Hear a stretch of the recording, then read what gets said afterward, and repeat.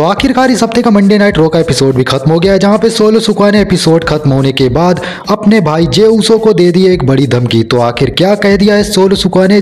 Jey Uso से अभी आगे आपको पता चल जाएगा। लेकिन अगर बात करें इस हफ़्ते की मंडे नाइट रो की तो लास्ट में आपको ऑफ़ एयर में एक मैच भी देखने को मिला था, वो टीवी पे नहीं देखने को मिला था, जो ऑडियंस वहाँ पे जमा थी, उन सबको वो एक मैच देखने को मिला था, और वो मैच था डब्ल्यू अनडिस्प्यूटेड चैंपियनशिप मैच अब गाइस ये मैच किस सुपरस्टार के बीच हुआ? और इस मैच के दौरान कोडी रोज ने उस सुपरस्टार को हराया जिसने आज तक रॉ के अंदर आने के बाद एक भी मैच, सिंगल मैच नहीं हारा है। तो इस वीडियो को पूरा देखना, क्योंकि इस वीडियो में आपको बताने वाला हूँ कि मंडे नाइट रॉ में ऑफ़ ईयर में जो चैंपियनशिप मैच हुआ था, वो किसके बीच हुआ था। और साथ ही साथ मैं आपको ये भी बताऊँगा कि सोलो सुखवा ने जे ऊसो से आखिर क्या कह दिया। तो हेलो गाइस स्वागत है आपका मेरे YouTube channel W Hindi Tadka पर। तो चलते हैं आज की इस वीडियो की पहली खबर की तरफ़, जो सैथरोलिन की तरफ़ से आ गई है। तो गाइज़ फाइनली आपको पता होगा इस हफ़्ते की मंडे नाइट रॉ में जो सैथरोलिन का सेगमेंट हुआ था ब्रॉन्सन रीड के साथ, जहाँ पर आपने देखा होगा काफ़ी ज़्यादा घमासान देखने को हमें मिला था।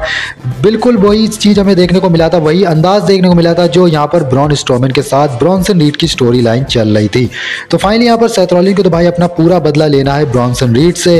तो जहाँ पर ब्रॉन्सन रीड से सैथरोलिन ने बदला ले तो लिया था, लेकिन गाइस यहाँ पर क्या हुआ था ना कि ब्रॉन्सन रीड को भी अब भाई अपना बदला लेना है, क्योंकि ब्रॉन्सन रीड सैथरोलिन की वजह से हार गए थे भाई लास्ट मॉन्स्टर स्टैंडिंग मैच को। जो ब्राउन स्ट्रोमन के साथ उनका मैच हुआ था, उसमें भाई ब्रॉन्सन रीड को एक बुरी हार देखने को मिली थी, जिसकी वजह सैथ बने थे। तो गाइस यहाँ पर भाई ब्रॉन्सन रीड भी पूरी तरह से अपना बदला लेने को तैयार है। सेथरॉलिन से, जहाँ पर सेथरॉलिन भी अपना बदला लेने को तैयार है ब्रॉन्सन रीड से।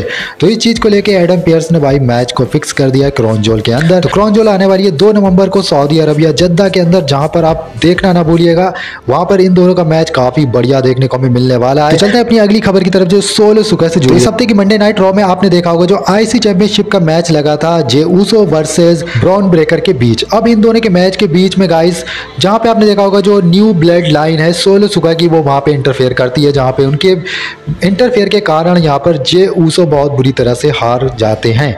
यहाँ पे गाइस आपने देखा होगा जहाँ पे फाटू यहाँ पर पूरी तरह से किरदार निभा रहे थे अपना, और फाटू की वजह से ही यहाँ पर भाई हारते नज़र आए जे ऊसो। तो गाइज़ स्टोरी लाइन इसीलिए इस तरह से बनाई गई है, मैंने आपको पिछली वीडियो में बताया था जे ऊसो की स्टोरी लाइन ऐसे चलाई जाएगी कि उनका कुछ ना कुछ मोटिव हो, उनका कुछ ऐसी वजह हो जिससे वो अपनी न्यू ब्लड लाइन ज्वाइन करें, यानी कि पुरानी वाली जो रोमन रिंग्स की टीम है, उसको ज्वाइन करें। तो यहाँ पे डब्ल्यू e ने इनको हराना सही समझा था, क्योंकि अगर इनके पास बेल्ट रहती तो ये उस तरफ़ नहीं जा पाते यार रोमन रिंग्स की टीम में नहीं जा पाते।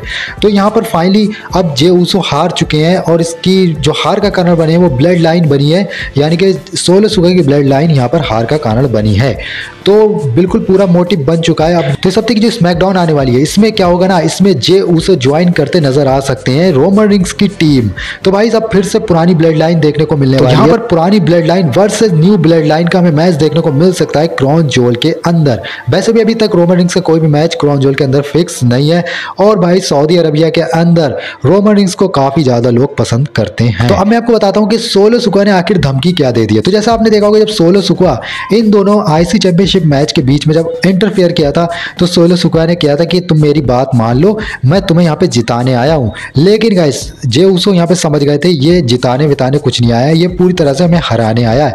और गाइस फाइनली यही चीज़ हुई हुई है। इसकी वजह से जब जे उसो हार गया, उसके बाद सोलो सुखा जब बैक स्टेज जाते हैं तो बैक स्टेज जाने के बाद जे उसो से कहते हैं, आपको मेरी बात सुन लेनी चाहिए थी। मैंने आपको बताने का प्रयास किया था, लेकिन आपने नहीं सुना। आप देखिए क्या हो गया। नो ईट मतलब पूरी तरह से चिढ़ा दिया है भाई जे उसो को। तो इस चीज़ का बदला जे उसो ज़रूर लेंगे, वो भी रोमन रिंग्स के साथ मिलकर। तो अब चलते हैं अपनी नेक्स्ट अपडेट की तरफ़। जो मंडे नाइट रॉ में जो ऑफ़ ईयर हो गया था, यानी कि जो शो टीवी पर खत्म हो गया था, उसके बाद फैंस की डिमांड पे एक बड़ा मैच देखने को मिलता है। जो हुआ था गाइस यहाँ पे कोडी रोज वर्सेस फाटू का मैच अब यहाँ पे कोडी रोज वर्सेस जैकॉब फाटू का मैच काफ़ी शानदार रहा, जहाँ पे जैकॉब फाटू ने शुरू में कोडी रोज की काफ़ी धुलाई भी कर दी थी। काफ़ी ज़्यादा वो तगड़े भी पड़ रहे थे कोडी रोज पर। लेकिन भाई, कोडी रोज कहाँ हारने वाले यहाँ पर कोडी रोज ने जैकॉब फाटू को अपनी फिनिशर लगाकर और एक फेयर मैच जीत लिया। हम सभी फैंस को अब इंतज़ार है क्रॉन जोल का। भाई क्रॉन जोल सऊदी अरब में आती है तो सऊदी अरब में काफ़ी ज़्यादा मज़ेदार ये शो हमें सबको लगता है। मतलब मुझे ही नहीं लगता आप सबको भी ये शो काफ़ी ज़्यादा मज़ेदार लगता होगा। तो गाइज़ अगर आपको ये वीडियो पसंद है, वीडियो को लाइक करना चाहे नया चैनल सब्सक्राइब ज़रूर कर लेना। बाकी जो भी नेक्स्ट अपडेट आती है, नई लेटेस्ट अपडेट आएगी, मैं फटाफट अभी चैनल पर देता रहूँगा।